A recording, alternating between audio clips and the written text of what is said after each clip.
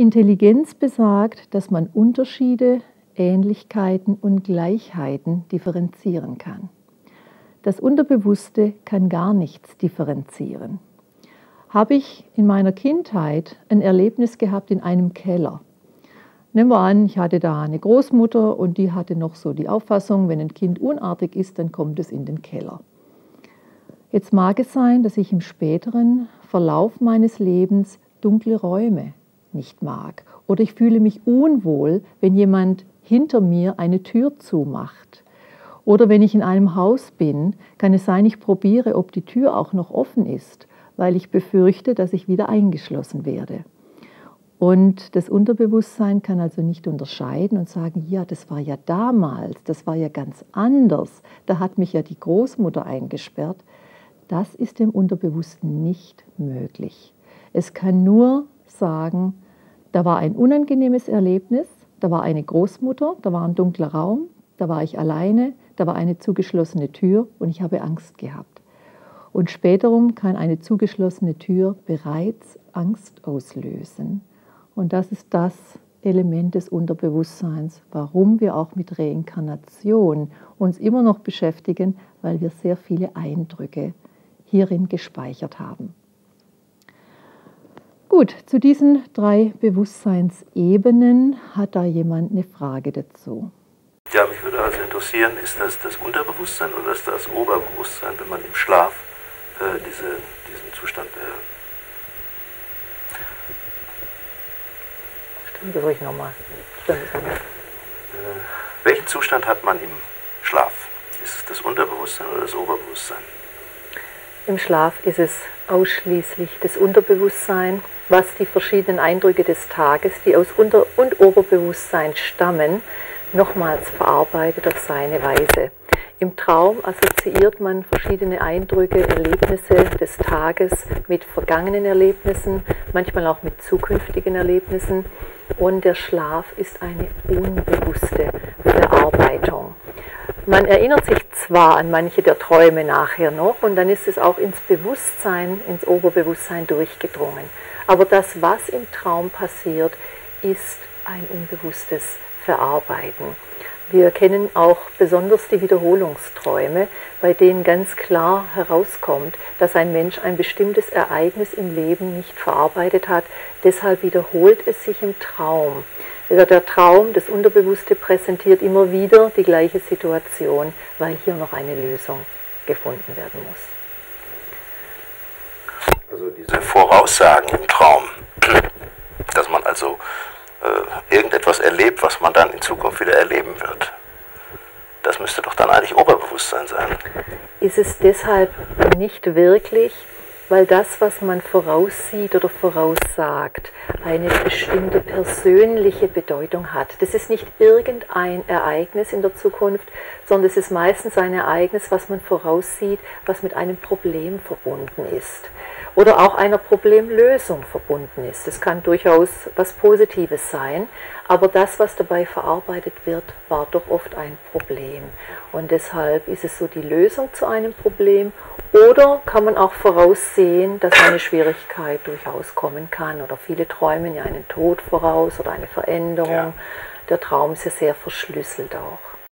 Wenn es das Unterbewusste äh, im Traum aktiv ist, dann äh kann es doch sein, dass es auch mit dem Überbewussten oder mit dem Bewusstsein kommuniziert, weil sonst könnte ich mich tagsüber nicht mehr an den Traum erinnern oder Wiederholungsträume lösen sich in irgendeiner, können sich in irgendeiner Form auflösen, indem man im Traum die Situation verändert.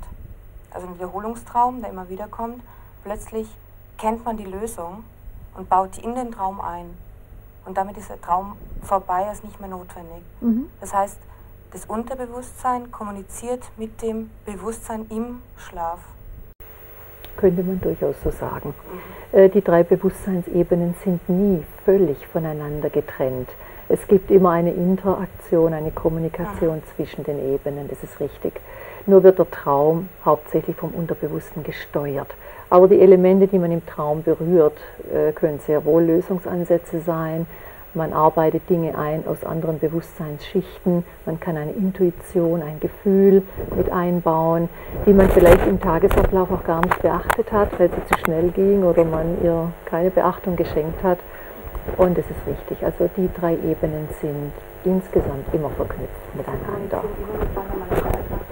Mal schwächer oder mal stärker wahrnehmbar. Mal stärker wahrnehmbar oder mal stärker vom einen Bewusstsein her äh, schwerpunktsmäßig mhm. gesteuert. Reinkarnation ist die Philosophie, dass die Seele ein ewiges Wesen ist, sich auf der Erde oder in der Materie aber verkörpert, sich Formen schafft, um sich weiter zu entwickeln, um sich Elemente anzueignen, bestimmte Erfahrungen zu machen, um von der Polarität wieder in die Einheit zurückzukehren. Dieser philosophische Hintergrund ist es, den wir uns in der Psychologie der Reinkarnation zunutze machen. Und es hat sich herausgestellt, dass jeder Mensch Rückerinnerungen hat an frühere Leben, ob er sie als solche definiert hat und erkannt hat oder nicht. Jeder Mensch kennt beispielsweise Déjà-vu-Erlebnisse.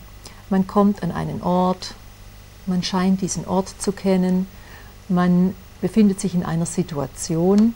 Die Situation kommt einem sehr bekannt vor. Es gibt altbekannte Menschen, man begegnet jemandem und sagt auch, es ist so, als ob ich den schon ewig kenne. Das sind solche Rückerinnerungen, wo jeder Mensch, ob er sich mit Reinkarnation beschäftigt hat oder nicht, doch so bestimmte Erfahrungen macht. Ihm kommt etwas bekannt vor das kennt er von irgendwoher, ohne sich jetzt genau zu erinnern, woher.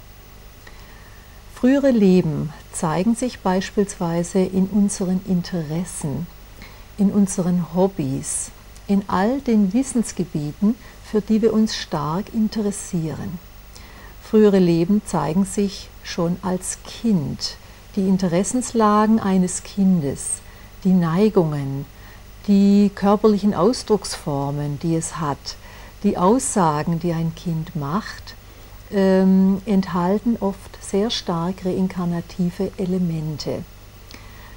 Die Ich-Findung, die Identitätsbildung bei Menschen tritt ja erst im sechsten, siebten Lebensjahr ein.